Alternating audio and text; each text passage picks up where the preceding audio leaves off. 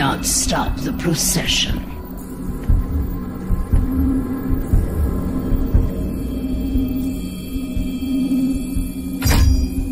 We will not be able to control it!